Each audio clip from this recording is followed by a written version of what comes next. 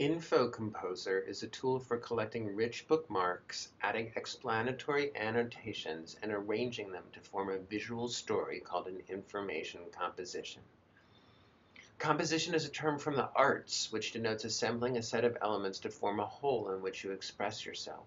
Composition is an integrated alternative to the search and bookmark lists of web browsers and to clippings pasted into a word processor. Each rich bookmark includes a clipping image or text pulled from a document, and metadata, like a library card entry or a social media profile or a shopping cart item, a rich description of attributes and relationships.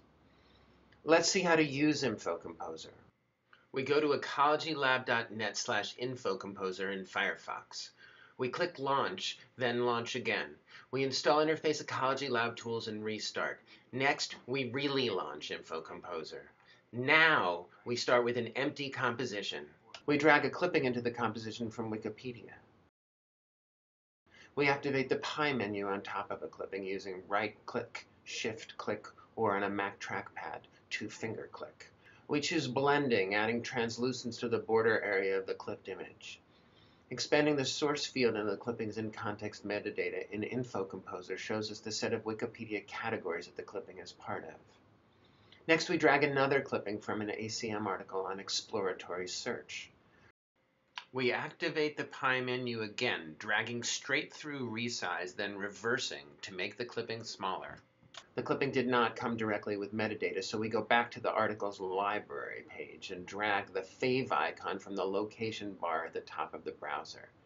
Now when we brush the clipping with the mouse, we can see all sorts of rich metadata for the article, including text, abstract, authors, referenced articles, and citations from more recent articles that reference this one. With time accelerated, we drag in a bunch more clippings from different sources. Next, we activate a different Pie menu with right-click on the background of the composition. We select Up for Create Text. We author an annotation exploratory search, hit escape to end text input, reactivate the Pie menu, and choose Edit. We format the new annotation, changing the font face, the point size, and the background to close stroking. We add and format more explanatory annotations.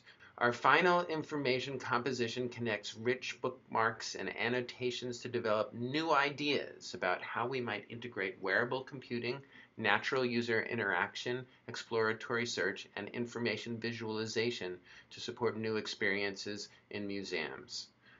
Use InfoComposer to collect and arrange rich bookmarks, author annotations, and create a composition to generate new ideas on topics that matter to you.